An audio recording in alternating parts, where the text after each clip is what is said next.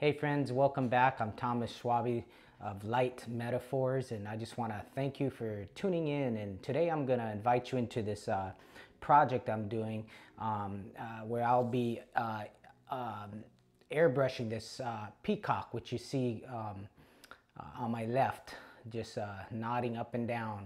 You know, God is a God of creativity. He's the artist of artisans. And I'm reminded of a um, uh, statement, a phrase that Larry Randolph uh, shared years ago that just uh, always stuck with me, and it it rings so true. Um, uh, and that is uh, where you find a lack of creativity, there the religious spirit breeds. And you know, in other words, an environment where there's no creativity allowed to occur or happen, where uh, there, everything is done um, by rote. Everything is done uh, where it's everything's predictable. Um, you know, religion becomes very stale, like a mold. Uh, and one time I, I, was reminded one time that um, I was thinking about like a, a, mold. When you get locked into a mold, everything's, uh, you know, the same. It's just a mold. You, you what you pour in uh, comes out the same.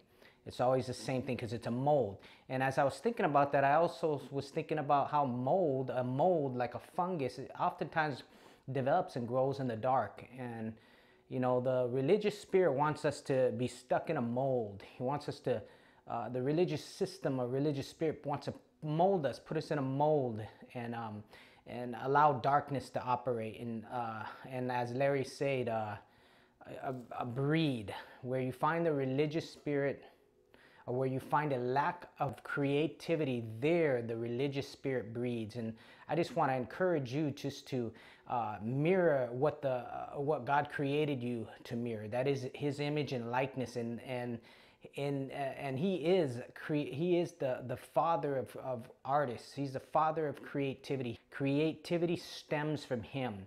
In the beginning in Genesis, God said, "Let us make man in our image and in our likeness. You know, he said us. So when we engage in a creativity, it's it's all about like a as as Christians, as as his sons and daughters, it's all about uh, engaging in, in union with him and allowing uh, the creative breath to blow into us, inspiration to flow into us, creative ideas, visions, and, and pictures and images that we can begin to uh, lay hold of and begin to express, whether it's in a writing a poem or dancing or, or um, painting or poetry.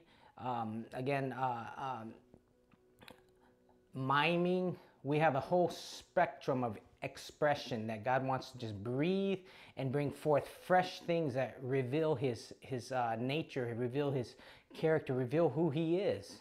And it's through the spirit of creativity that we engage in this in union with the Lord, Holy Spirit, that we can engage and begin to bring forth uh, this. Again, I'm going to be airbrushing uh, uh, this peacock on my left um, that uh, a friend of mine owns that uh, she wants me to paint. And I just want to be able to um, uh, paint colors like the colors of a, add colors to it, the colors of a peacock using various uh, colored paints, uh, airbrush paints. So, you know, as Larry Randolph said, as I quoted earlier, where there is a lack of creativity, there you will find, or there the religious spirit breeds.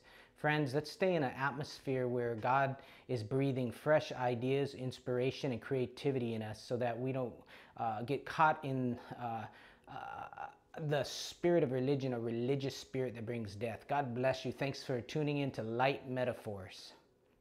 Hey, so we're gonna start with this uh, color. Um, it's pearl blue. You know, I'm trying to uh, grasp some of the natural colors of a peacock. So this is a paint by Createx.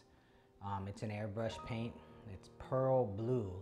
And I'm gonna start by uh, painting the the body, the neck and the head of the peacock and with this pearl blue and then I'll go into other colors.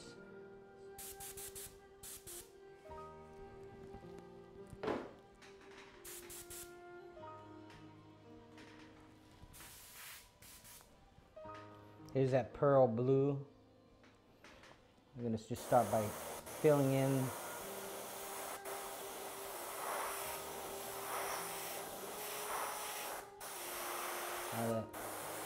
this paint just really sticks good. It really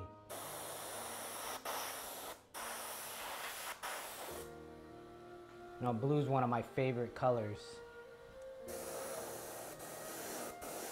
You know, the meaning, spiritual meanings of blue represents like communion and revelation. I learned that from John Paul Jackson. Communion and revelation. It's the color of uh, for communion and revelation. So you can see here that I uh, taped off areas so that I don't get the paint on those areas. You know, I just, I covered it up so I don't get paint on there. In the areas that I don't want the paint on. So yeah, this paint is laying on there pretty good. Here's a close-up of uh, the color.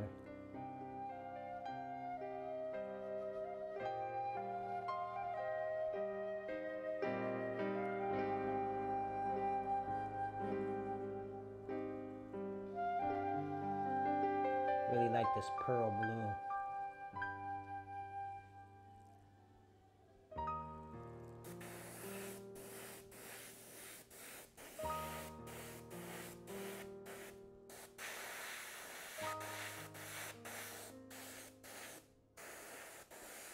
You can see how much, you may be able to see how much overspray is happening on this, uh, where I taped it off while I'm painting. It, it sprays and it's overspray. We call it some, that's like the enemy, overspray.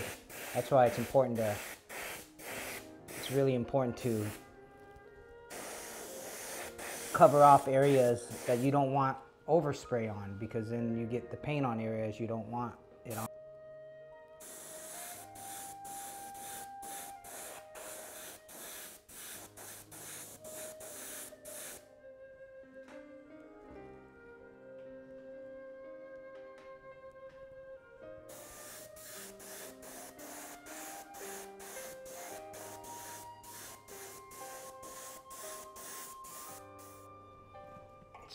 Spin this baby around this side.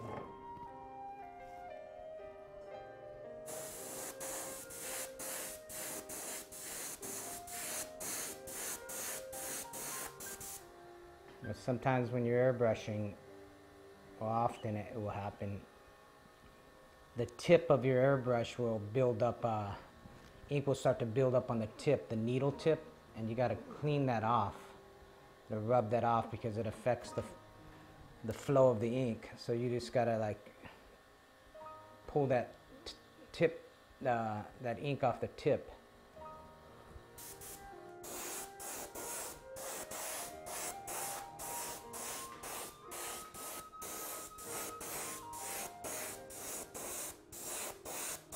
And I'm using an Iwata Eclipse. It's kind of like the workhorse of uh, t-shirts and you can use it on a canvas as well but it's it's uh, it's like the workhorse airbrush the Eclipse HP BCS really love it. I, I own a few of these and over the years and it's really fun using this especially on fabric and t-shirts.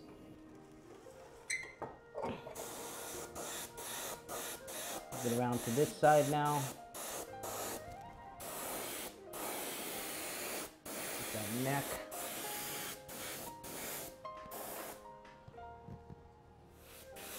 drumstick of the peacock.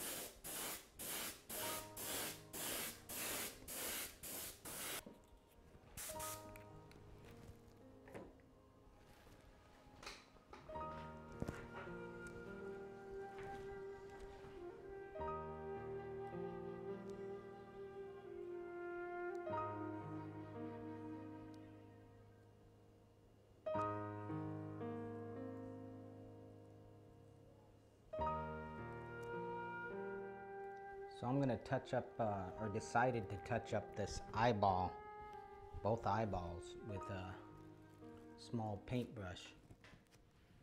I've been touching it up. Um,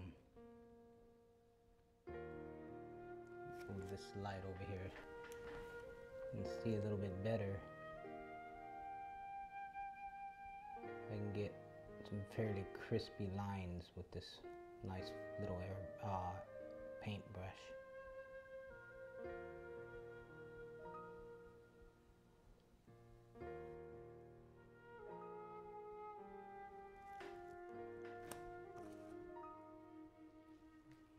So I hand painted the eyeball with the, like a reddish brown and I'm gonna go next for the pupil. I'm gonna do the pupil. Again, I'm gonna use a small paintbrush.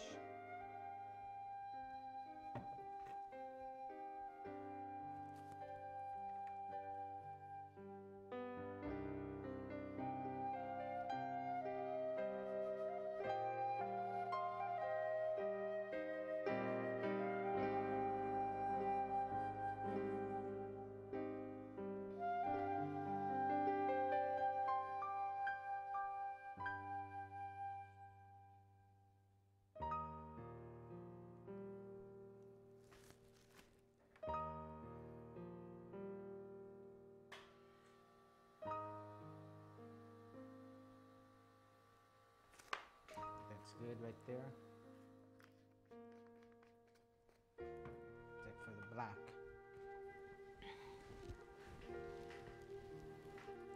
All right, so I uh, did some more touch up on the head using a paintbrush. You could see the white here.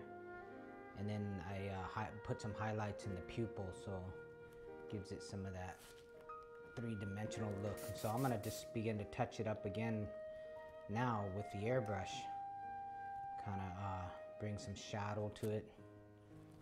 So this is the next step.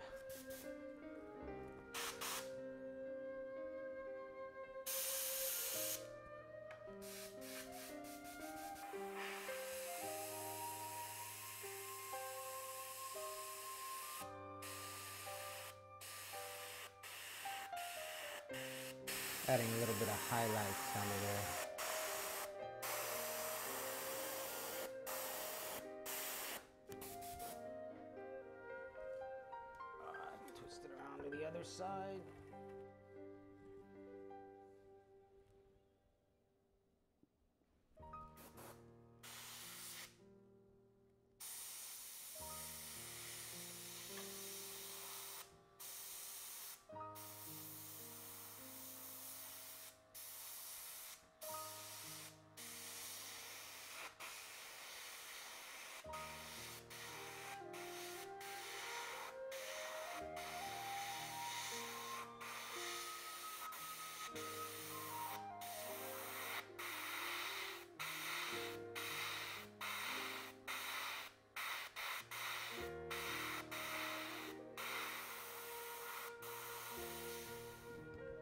So what I'm gonna do right now is I cut out another stencil on this masking tape and I put it over the eyeball. And I'm gonna use that to fill in like a highlight around the eyeball. So it gives you that you know reflection on the eye that highlight on the eye but also reveals like the three dimensionalness of the eyeball the, that spherical shape. So let's go on with that next.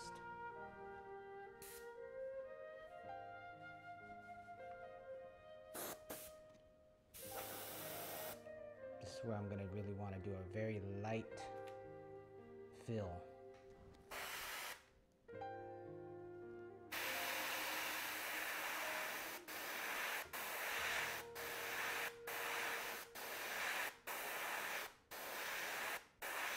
That much, I believe it's good enough. Let's see, yeah.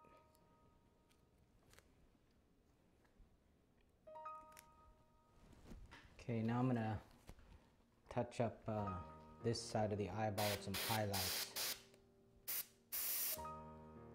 Very little bit of a highlight. Just a small, small touch up.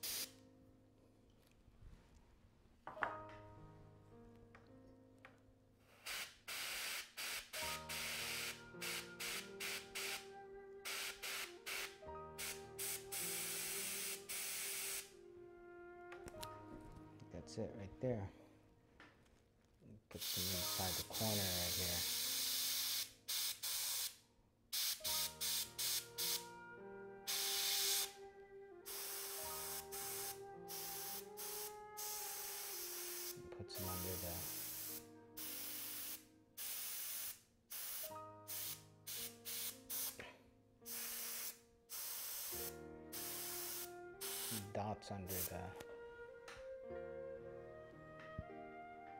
eye, like uh, part of the eyelid.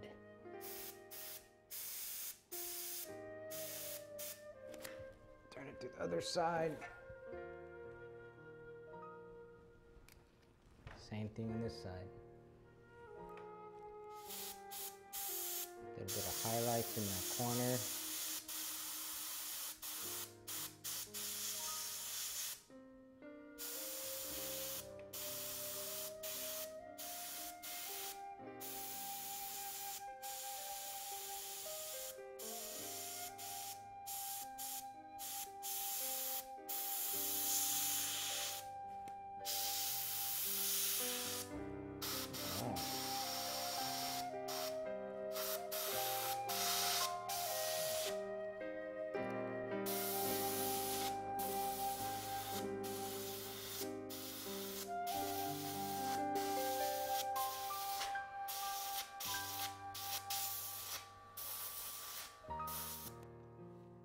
So I'm about ready to paint the inner parts of the feather. I'm gonna go with some light blue. Um, I cut out everything I needed to cut out uh, in the stencil. So here we go for this next part.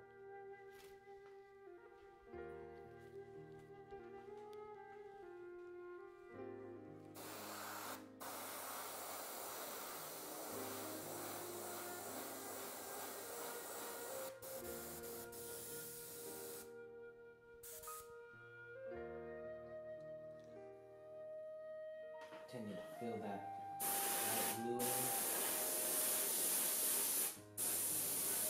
So what I'm doing is just laying the color down one layer and then it cool, uh, dry out a little bit, and then I'm gonna go into the next layer afterwards.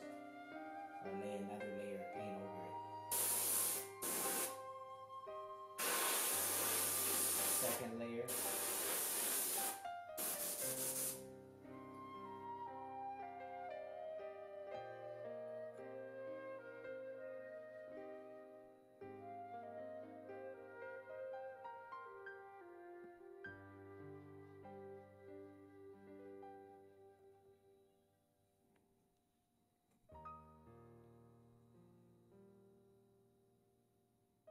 So I've been working on the inner parts of the feather with uh, deep blue. I'm using um, Createx paints right here. I'm using a deep blue to fill in these uh, this deep blue section right here, and I'm gonna be doing it with my uh, paintbrush, just hand doing it.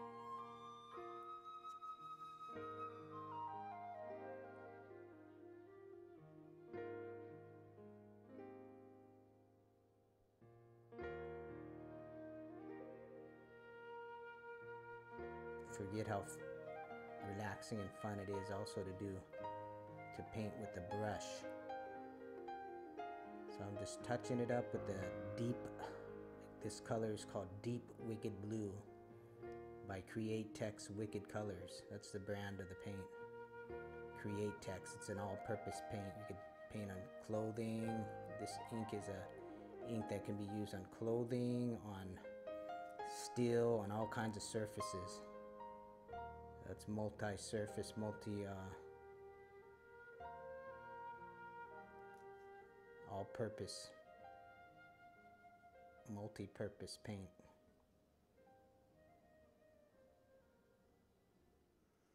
So I've been uh, painting the inside of the the feather, the the third color, which is a gold, like a pearl gold. it's that outer uh, section of the oval, if you will. Uh, you have the dark blue that I, I did hand painted and, and then I did the light blue around the dark blue and then finally I, I was working on the, the uh, outer uh, color which was a pearl gold. Um, and I, I filled that up started hand painting it and then I touched up with the airbrush. And you can see uh, that I still have the stencil um, on the outside of the, the oval uh, where the gold was painted and um, that'll be my last color outside uh, that gold oval. I'm to be pulling the stencil paper off and then I'll be touching that area up with a uh, with a metallic like pearl metallic gold that that peacock type uh, color. So yeah, it's been a pretty cool process just doing these three different colors. So you'll see that uh, in the next stage of the painting. Hey friends, so welcome back to the Peacock project. I've been on it for a while and um, you know it's getting along. Been working on the feathers still. And the most recent work I was doing is uh, filling in the uh, third layer of the peacock feathers. You can see like you have the dark blue right here then you have this light blue circle around there then you have the gold which is in like an oval. So all this gold oval area I painted in uh, first by hand with the paintbrush. I like using the paintbrush. It's been uh, pretty cool being able to use a combination of the paintbrush as well as the airbrush. And then I touched up with the uh, with the airbrush. So it's getting along. You can take a, a look at it uh, give a closer look at it at uh, how it uh, how it's coming out. Um, take a look at it.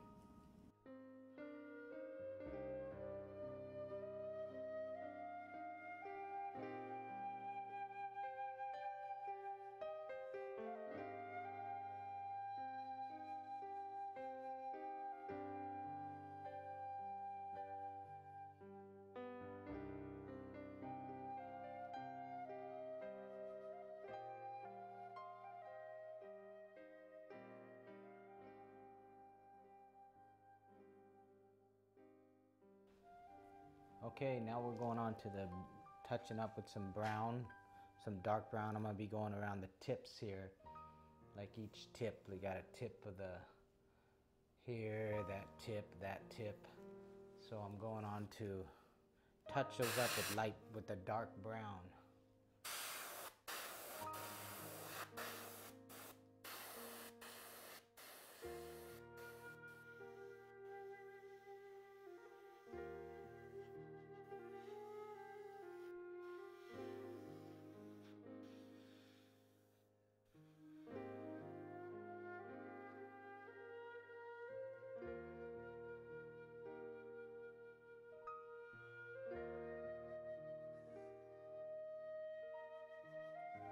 Hey, welcome back, friends. Thanks for joining me in this process of uh, painting the peacock. So I've been uh, doing step by step, uh, working step by step on it, and now I'm uh, in my last uh, section. You saw me painting the the oval shapes in the feathers with like a gold uh, paint, and and I started now. I took all the stencil paper off, so you can see here. This is some of the stencil paper um, that I had around the feathers. I took all of them off the feathers uh, that I had them taped onto. Now I'm working with the green, the metallic uh, peacock green. That's this color right here. It's a peacock green. So this is a, I'm pretty, um, pretty close to finishing. So I'm, I'm just gonna touch that up. I'm touching it up with the brush, uh, paintbrush and um, and then I'll probably do a little bit of airbrushing again on it. But right now I'm doing that uh, along these feathers. So I'm working on that, just filling it in and giving it a couple of brush strokes to give it like the feathery look. So yeah, take a uh, closer look and you'll see what it looks like.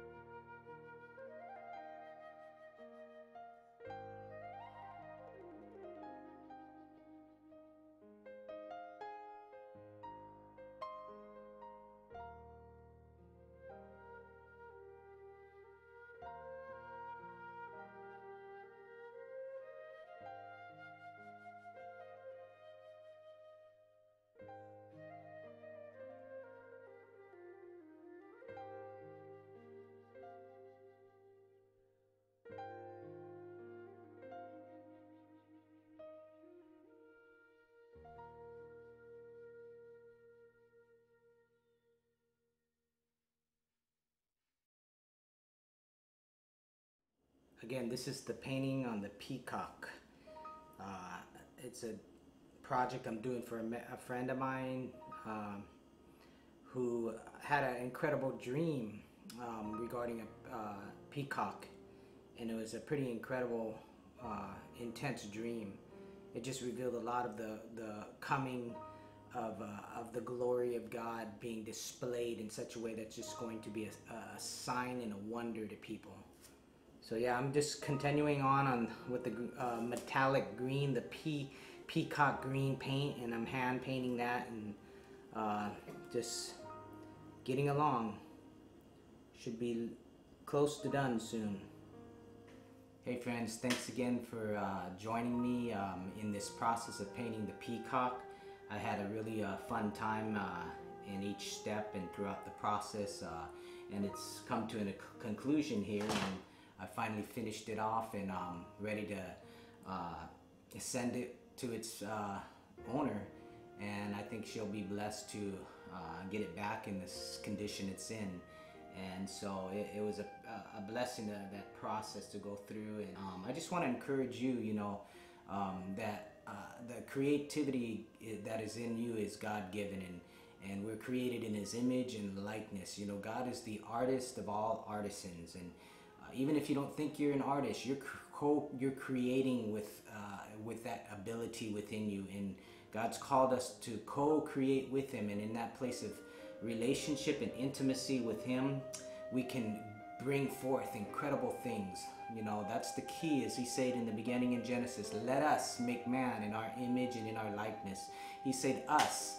Uh, and it's speaking about a, a, a, union, a unity, a working together, an intimacy, uh, together and it's out of that place of intimacy that we bring forth things that are uh, have the touch of God on it have the the voice of God have the resonance of God uh, his nature and uh, in upon it and it speaks you know. All creation declares the glory of God and guess what? We know that all creation was created by the word of his mouth and when he said let us make man in our image and likeness he made it uh, made man for intimacy, for relationship. So may God bless you in your relationship and may you grow deep in the Father's love and the, and the fellowship with the spirit of creativity, the Holy Spirit dwelling within you all.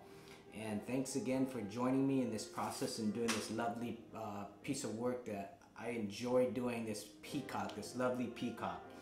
And, uh, you know, um, may God uh, work in your lives to bring forth uh, creative arts creative uh, artistic pieces that will reflect um, uh, the beauty of God. God bless you. Thanks for joining me. I'm Thomas Schwabe of Light Metaphors. Have a great day.